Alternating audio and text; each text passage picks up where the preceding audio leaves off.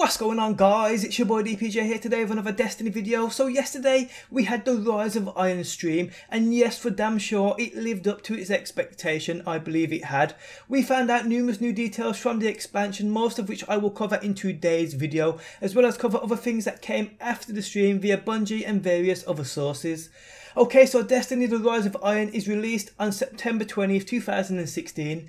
It releases for current gen only, that being PlayStation 4 and Xbox One only. If you are a PlayStation 3 or Xbox 360 player, this is what Bungie had to say regarding you and your consoles. From here on out, we'll be referring to the PlayStation 3 and the Xbox 360 as the legacy consoles. If you're using a legacy console to play Destiny, you'll need to upgrade your hardware to experience the next adventure. Our goal is to always bring every player from this awesome community along for the ride as we continue the story of Destiny. At the same time, we will also continue to support players who elect not to upgrade their console hardware. This fall, you'll still be able to play Destiny on legacy consoles, but that journey will occur on a separate path. Up to this point, player progression between current and legacy consoles in the same family has been shared by each account. This summer, that experience will fork into parallel experiences that will no longer share progression. As legacy generation guardians adapt to current platforms after August, there will be functionality in place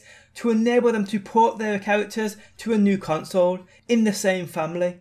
In my opinion though, I feel that the rise of Iron being on current gen only I believe it's a great thing moving forward as old gen did nothing but limit the content in which us current gen players could experience. I know that sounds a little selfish, but at the end of the day it's the truth. So yes, the Rise of Iron is next gen only or current gen only. And the price of this expansion will be $30 and that's £25. So what do you get for your buck? Well, we ain't short on fresh new content, that's for damn sure. We get new story and plenty of new quests. We get a new raid. We get a new Plaguelands area and social space. Maximum light level increase, which I did mention on screen. They didn't say any specific number, but they did say it's going to be a significant increase. So hopefully we probably go up to about 400 or 450. Imagine that, that would be pretty epic. But then again though, the difference between our significant and their significant seems to be about 15 but we're just going to have to wait and see on that. We also get new strikes and we also get some of the old strikes remastered to fit in with this new DLC.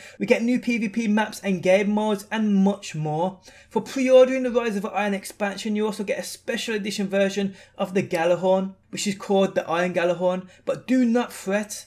This isn't the only way you'll get a year free version of the Gjallarhorn. If you don't pre-order it, the Gjallarhorn can still be obtained via a quest. Just for the pre-order, you get a fancy skin for it. That's about it. It's going to be the same weapon though, so do not fret. But let's dive a little deeper into the DLC and the story behind it. So the wall which stood for centuries along the southern border of old Russia has collapsed. A battle scorched reminder that our enemies still seek to destroy us all. Fallen mutants now scavenge the tombs of the golden age and the plague they have unearthed in the wastes is more dangerous than even they understand.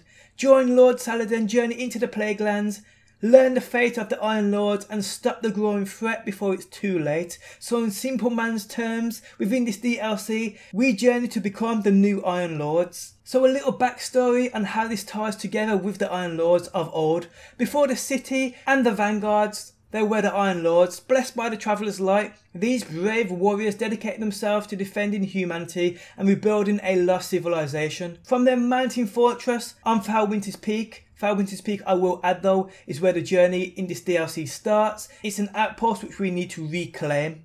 The Iron Lords range across the planet, battling the darkness and protecting the survivors of the collapse.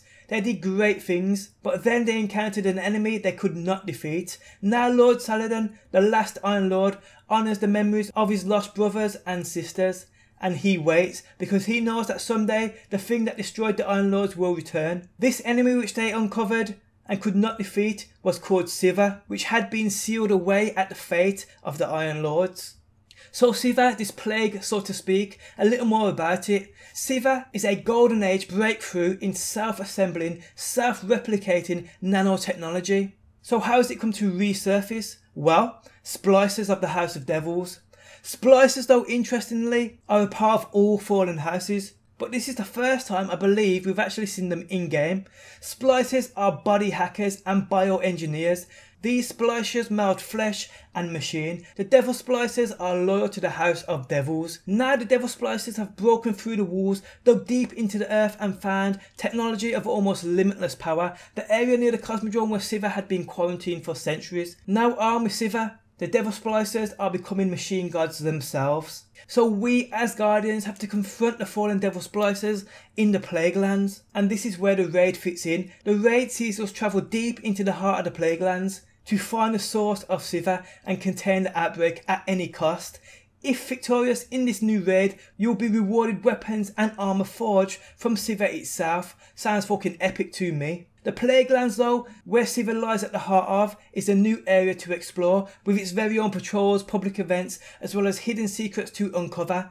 It's an area where the Devil Splicers have used Siva to rebuild fortresses and have transformed this region to their own twisted desires. And that guys is basically the story behind this DLC and the info we got from the stream yesterday. We journey to become the new Iron Lords by stopping these mutant fallen of the House of Devils. We journey into the heart of the Plague Lands to stop once and for all Siva, this plague. Now I have got a video coming from the things you may have missed from the stream yesterday, so stay tuned for that. But guys, I hope you did enjoy the video. Hope it cleared up a little few things of what some people are confused about. And I'll catch you guys on that next one. Peace out until next time. Peace! Always in the wrong, knowing where we stand, but you and I will carry on. We never get it right, Left in the dark.